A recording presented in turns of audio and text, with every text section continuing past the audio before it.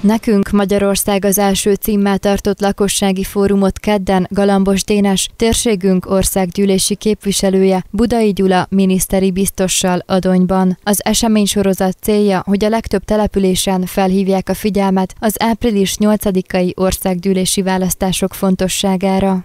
Az őszinte, tiszta beszéd az a legfontosabb, és az első kérdés, ami megválaszolandó, hogy mi is a választás tétje április 8-án. És hogy miről, miről szól ez a választás. Mert ugye azért vagyunk itt, azért van országjárás, azért van lakossági fórum. És engedjék meg, hogy egyből azzal kezdjem, hogy a, az április 8-e választás ez egy sorsdöntő választás lesz. Vagy nemzeti kormányunk lesz, és megmaradunk Magyarországnak, vagy Magyarország megmarad a magyarok országának, vagy bevándorló országá válunk. Nagyon egyszerű egyébként a kérdés ebben a körben, és az embereknek két dolog között kell választani. Április 8-án senki ne legyen meglepődve, mert biztos, hogy így lesz, hogy a szavazólapokon, itt is ebben a választókerületben két jelölt két potenciális jelölt marad állva.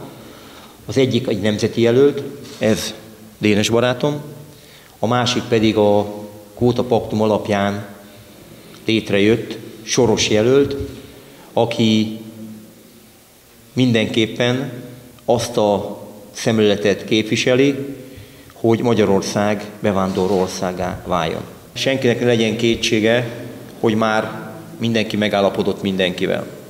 Ugye a a legelső megállapodást az MSZP párbeszéd és a Demokratikus Koalíció kötötte, és felosztották egymás között az egyéni választókerületeket. Ugyan még csak sajtóhírek szólnak róla, de az LMP megállapodott az MSZP-vel, és valószínűleg tíz helyen fognak visszalépni az LMP javára azok a jelöltek, akik indulnának. Én kettőt kapásból tudok önnek, önöknek mondani.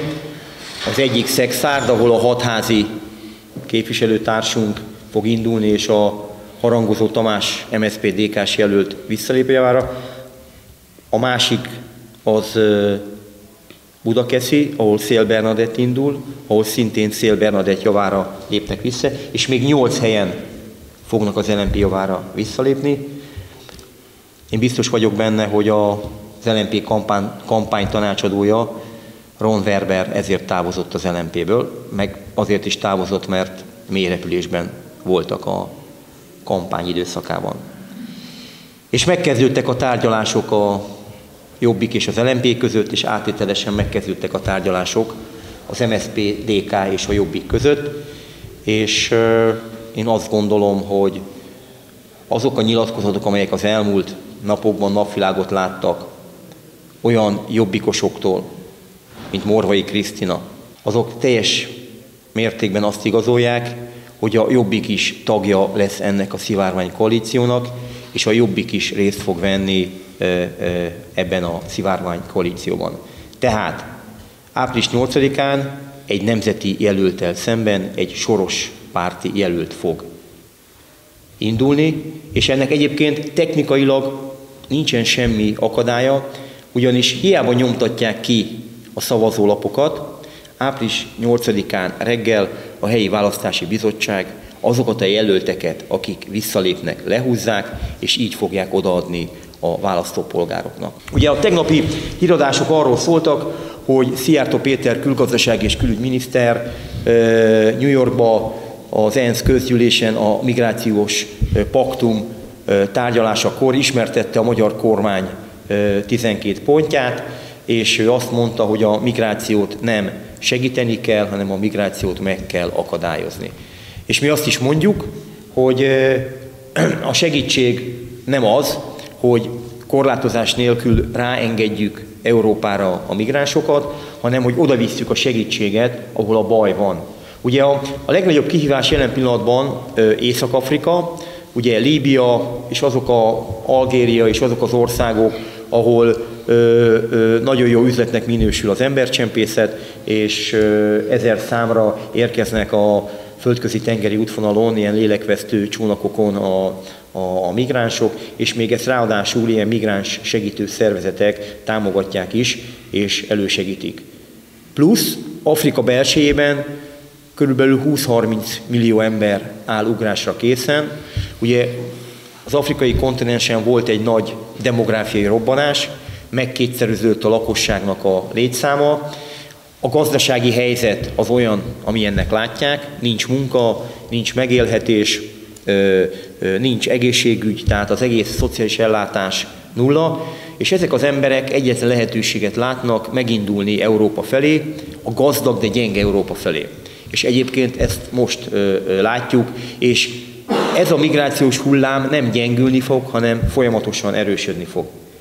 Kettős front, amihol, ahol most harcolunk Brüsszel és az ENSZ, az, az óriási nyomást jelent Magyarországra, és április 8-án a magyar választópolgároknak erről kell dönteni. Nem arról, amit ez a szerencsétlen Karácsony Gergely mond. Aki egyébként, ne felejtsük el, hogy 2015-ben, és ezt tényleg ne felejtsük el, amikor megindult a migrációs hullám Magyarországra, elsőként ajánlott föl a migránsokat segítő szervezeteknek zugló polgármestereként bérlakásokat.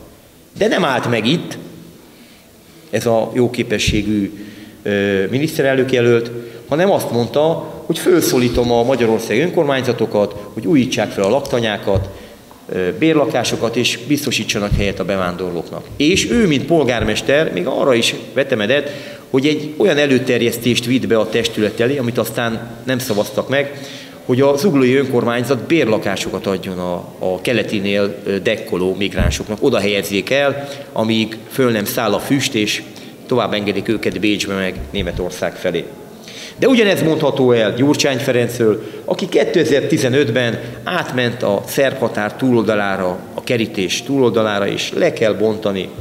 És nekem erről mindig az jutott eszembe, hogyha én lettem volna ott határőr, vagy nem tudom, én biztos nem engedtem volna vissza, hagy maradjon a Gyurcsány Ferenc.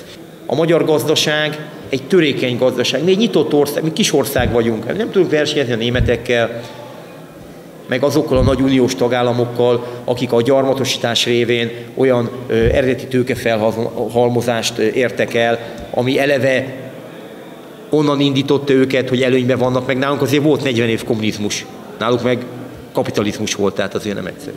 Tehát én azt gondolom, hogy, hogy ezt mind-mind meg kell védenünk, és hogyha nem Dénes barátom nyeri ezt a választókerületet, és nem a Fidesz nyeri a 18 április 8 választásokat, akkor ez mind-mind be fog következni. És akkor utána már lehet panaszkodni, hogy nem így akartuk, meg nem így gondoltuk. Egyszer lehet hibázni, aztán soha többet nem. Ha ezt megértik az emberek, akkor azt gondolom, hogy eh, Magyarország megmarad a magyarok országává, ha nem, akkor Magyarország is elesett, és el fog esni Lengyelország, mert az Unió a hetes cikkeit megszavazta, nem lesz Orbán Viktor, aki a miniszterelnökök tanácsában megvétózza a lengyel kizárást. Elesnek a szlovákok, elesnek a csehek.